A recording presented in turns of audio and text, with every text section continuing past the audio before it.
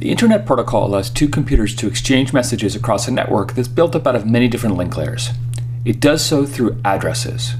An IP packet has a source and a destination address. Routers decide which link to forward a packet based on the packet's destination address. Let's look in detail what IP version 4 addresses look like, how they are formatted, and how they are allocated. The original goal of the Internet Protocol was to take many different networks and stitch them together.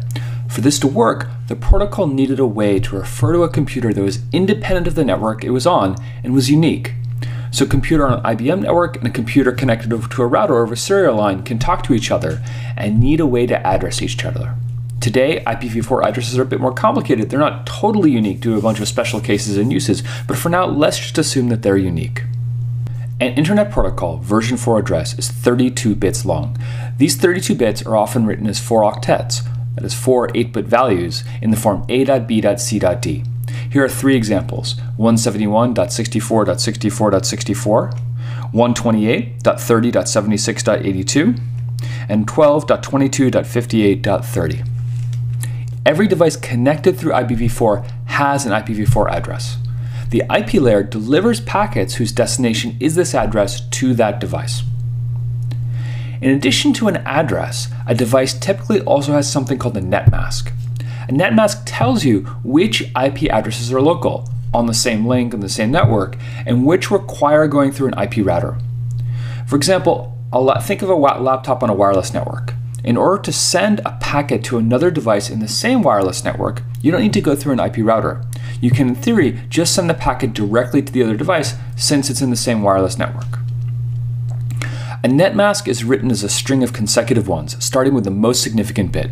A net mask of 255.255.255.0, for example, means the first three octets are all ones. 2 to the 8th minus 1 is 255. And the last octet is 0. This means that an IP address which matches the first three octets, 24 bits, of your IP address is on the same network. A net mask of 255.255.252.0 means that net mask is 22 bits long, while 255.128.0.0 is a 9-bit net mask. You can tell whether two computers are in the same network by taking a bitwise AND of their addresses with the net mask. If the resulting addresses are equal, they are in the same network. Let's see what this looks like on my computer. I can open up a terminal and use the ifconfig program. My computer is connected to the internet over Wi-Fi, which happens to be the link named EN1.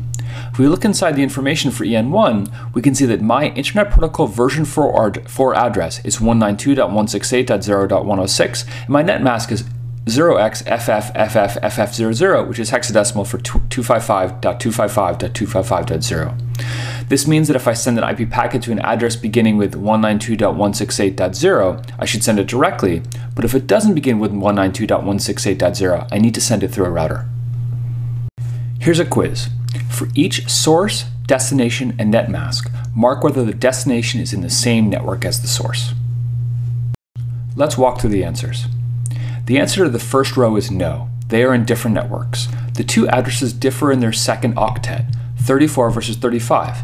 If we take a bitwise AND of the two addresses with a net mask, we get 128.34.0.0 and 128.35.0.0, which are not the same. The answer to the second row is yes, they are in the same network. If we take an bitwise AND of the two addresses with a net mask, we get 10.0.1.0 in both cases. The answer to the third row is no. They are not in the same network because they differ in their third octet. The source is in network 10.0.1.0 and the destination is in network 10.0.2.0. The answer to the fourth row is no. They are not in the same network. And with a net mask, the source address is 171.64.15.32, while the destination is 171.64.15.0. The answer to the final row is yes. They match in the first byte. Both are 171.0.0.0 when ANDed with a netmask. So how are IP addresses assigned? Originally they were broken up into three classes, Class A, Class B, and Class C. Each class separated an IP address into two parts, network and host.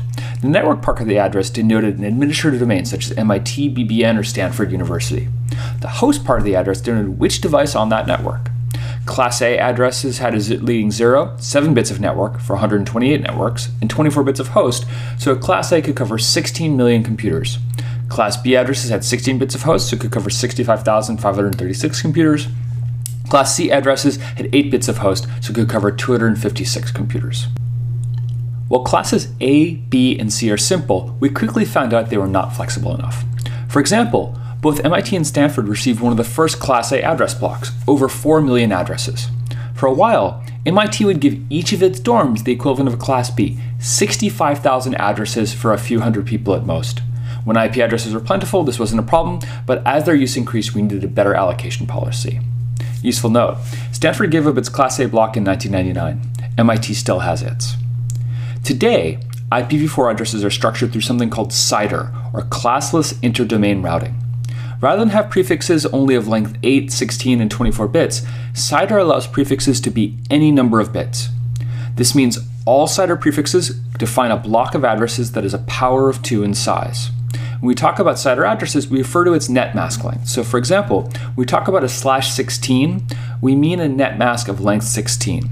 This CIDR block describes 2 to the 16th addresses, or 65,536 addresses.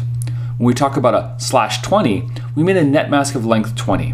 This CIDR block describes 2 to the 12 addresses, or 4,096 addresses. CIDR blocks are how addresses are structured, addressed, and managed today. Today, Stanford has 5 slash 16 blocks, blocks, about 325,000 IPv4 addresses. So how are IPv4 addresses allocated and managed? There's an organization called IANA, or for the Internet Assigned Numbers Authority. The ultimate authority is ICANN, the Internet Corporation for the Assignment of Names and Numbers. ICANN delegates the work to IANA. IANA gives out slash 8s, describing 16 million addresses to regional internet registries called RIRs. Each continent has its own RIR. The RIR for the United States is ARIN, while the RIR for the Western Pacific is APNIC. These RIRs each have their own policy for how they break up the slash 8s into smaller blocks of addresses and assign them to parties who need them. You might have read in the news that we've run out of IP addresses. This isn't true. There are many unused addresses today. What did happen is that IANA ran out of slash 8s to give out, reached a special end case in its charter. When reduced to its last five slash 8 blocks, IANA gave one slash 8 to each RIR.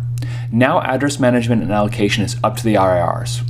In 2012, Jon Peterson, who was then a member of the Internet Architecture Board, gave a talk at Stanford on some of the political, economic, and technical complications that this raises. This talk isn't required material for the course, but I recommend it highly, and you should be able to find it on the website. So now you've seen the structure of IPv4 addresses, how they're allocated, and how end hosts make their first hop routing decisions, that is, whether to send to a local node or to their gateway router.